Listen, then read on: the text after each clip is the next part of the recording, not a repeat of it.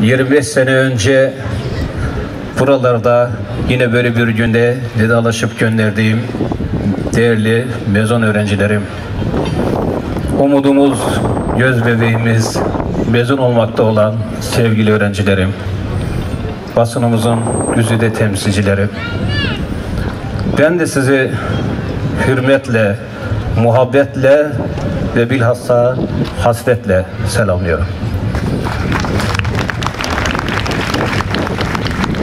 Tekirdağ 11 ilçesinde 800'e yakın resmi ve özel kurum var. Her birinin bizim için değeri elbette ki çok fazladır. Ama şahsım için Tekirdağ Anadolu Lisesi'nin elbette ki çok farklı bir yeri, bir değeri vardır. Tam 22 yıl saatim işlemiş, ben bu merdivenlerden inim çıkmış, bu okulun dershanelerde sınıfa girmiş, sevgili öğrencilerime Leyla'ya vurgun Mecnun'u anlatmış. Tam 22 yıl kendi ellerimizle diktiğimiz şu ağaçların nefes alışverişlerini dinlemiş. Tam 22 yıl yine bu okulda değerli öğrencilerimin kalp atışlarını izlemişiz. Hayalleri, hülyaları, kaygıları, endişeleri, umutlarına şahit olmuşuz. Yaramazlıklarına kızmış, muzipliklerine gülmüşüz. Mahcup oldukları vakit duygulanmışız. Bu nedenle Tekirdağ Anadolu Lisesi'nin elbette ki şahsım için değeri, kıymeti çok daha farklı ve yüksek olacak. Şahsım için böyle ama esasen Tekirdağ Anadolu Lisesi aynı zamanda Türkiye'nin en iyi okullarından biri, bölgemizin de elbette ki en iyi okuludur. Bu açıdan Tekirdağ Anadolu Lisesi'ne emek veren, değer katan, katkı sağlayan, kuruluşundan bugüne kadar gelmiş geçmiş bütün öğretmenlerimi, yöneticilerimi, velilerimi ve öğrencilerimi saygıyla anıyoruz. Değerli veliler, bugün yeni bir öğrenci kafilesinde yolcu etmek üzereyiz.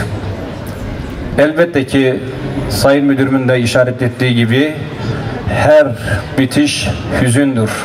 Ama bu vedalaşmaların arkasında bir umut varsa, gururlanacağımız bir tablo hayal ediyorsa elbette ki hüznümüzü yüreğimize, elbette ki umutlarımızı hem yüreğimize hem zihnimize nakşetmek durumundayız. Geleceğimizin yöneticileri, idarecileri, bilim adamları, değerleri bu çocuklarımız olacaktır. Bugün ne kadar değerli evlatlarımın yetişmesinde büyük emekleri, sabırları olan değerli öğretmen arkadaşlarımı yine hürmetle yad ediyor. Onların sabırlarını, gayretlerine büyük bir memnuniyetle yad ediyoruz. Velilerimiz çokça uykusuz geceler geçirdiler. Evlatları için çok zaman hüzünlendiler, kaygılandılar. Büyük fedakarlıkların, büyük vefaların gösterildiği muhakkaktır. Elbette ki sevgili öğrencilerim, bugün olduğu gibi hayatının her safhasında ailelerinin, annelerinin, babalarının verdikleri bu emedi mutlaka yad edecekler ve dolayısıyla unutmayacaklar, vefalı olacaklar, sadık olacaklar. Siz sevgili öğrenciler, yeni bir iklime kanat çırpmak üzeresiniz. Gideceğiniz yerde hayat neyse hayatın içindeki omdellerle karşılaşacaksınız. Elbette ki güzel günleriniz olacak. Elbette ki zahmetli zamanlarınız da olacak. Ancak bu kurumda edindiğiniz tecrübe ve birikiminizde her türlü zorluğun üzerinden geleceğinize inancım tamdır. Gideceğiniz bu yolda yolunuz açık olsun. Bahtınız açık olsun. Evet, okul müdürümün işaret ettiği gibi gün gelir tekrar dönerseniz burada ismi şu veya bu olan öğretmenlerinizi belki göremeyebilirsiniz. Ama onların bu duvarlara, bu bahçeye, bu eğitim yuvalarına, dershanelerine sinmiş muazzez ruhlarını her zaman hissedeceksiniz.